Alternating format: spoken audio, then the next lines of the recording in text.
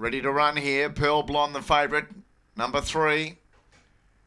Off. And Pearl began perfectly. It's driving for the lead, trying to keep it out. Macca Spirit, but couldn't. Bold Titan running on as well, but got checked. Making ground, had it all. Further back then to Bursting Flames, Delinquency, Aston Odious. And back towards the tail was Austin Powers on the turn though. And Pearl Blonde led, had it all. Then Aston Odious. It's Pearl Blonde in front. Pearl Blonde wins, beats had it all. Aston Odious third. Then Bursting Flames. Bold Titan was next. A gap in the field, then to Delinquency, Austin Powers and Macca's Spirit.